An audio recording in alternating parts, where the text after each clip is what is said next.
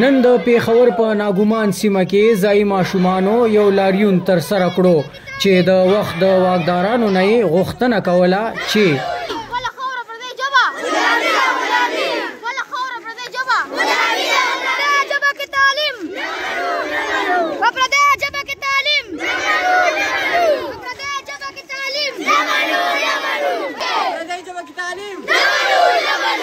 پردۍ ژبه کې تعلیم نه. د لاریون د خپلواک پښتونستان غورځنګ ډیر تکړه ملګري شاه خالد خان را جوړ کړی وو چې مقصد یې د خپلو پښتنو ماشومانو د بنیادي حق یعنی په خپله ژبه کې د تعلیم په هکله